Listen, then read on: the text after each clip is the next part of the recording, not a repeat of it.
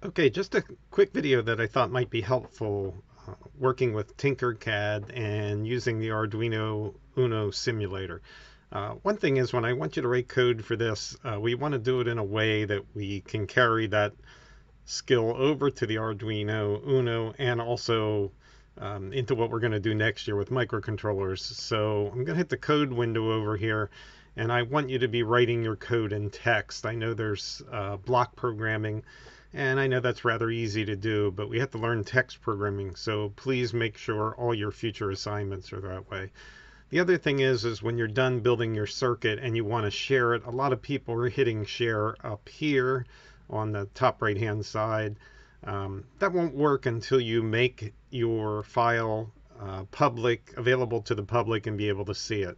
So the way to do that is go to the top left hand side to the Tinkercad menu get back to where all your files are stored. And once we get back there, uh, takes a little time for the computer to catch up. Make sure you're in circuits and you see all the different files that you created. And when you mouse over them, you'll see this little gear uh, setup and options thing. And go to the file that you want to share. Left click on that, choose properties and these are all the available properties in here. The one that's really important is this privacy should be set for public. Uh, by default, the files are private, and when you go to share them, then I can't get a link.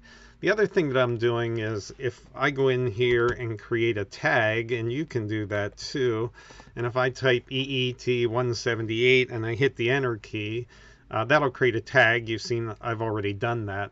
Uh, what this does for you is once you have a public file, you can go and search for all the EET178 files, and it will find it out of all the files that people have loaded for Tinkercad.